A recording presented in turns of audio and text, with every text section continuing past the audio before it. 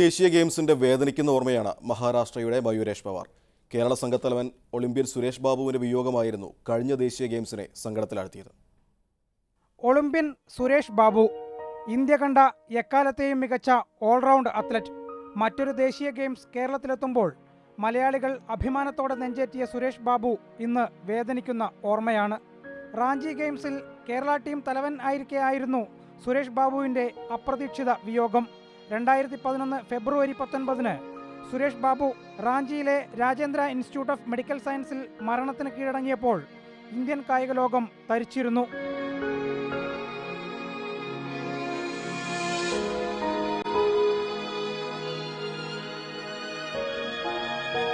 ആയിരത്തി തൊള്ളായിരത്തി എഴുപത്തിനാലിലെ ടെഹ്റാൻ ഏഷ്യാഡിൽ വെങ്കലവും എഴുപത്തിയെട്ടിലെ ബാങ്കോക്ക് ഏഷ്യാഡിൽ സ്വർണവും സ്വന്തമാക്കി. പരിശീലകൻ സെലക്ടർ എന്നീ നിലകളിലും വ്യക്തിമുദ്ര പതിപ്പിച്ചു. ആയിരത്തി തൊള്ളായിരത്തി എൺപത്തിയേഴിൽ കേരളത്തിൽ ആദ്യമായി നടന്ന ദേശീയ ഗെയിംസിന്റെ ഉദ്ഘാടന ചടങ്ങിൽ ദീപശികയേന്തിയത് സുരേഷ് ബാബു ആയിരുന്നു. മറ്റൊരു ഗെയിംസിന് മലയാളക്കര വേദിയാവുമ്പോൾ കായിക പ്രേമികളുടെ മനസ്സിൽ ആദ്യമെത്തുന്ന മുഖമായിരിക്കും Suresh ബാബുവിന്റേത്. Sanil Shah Asianet news.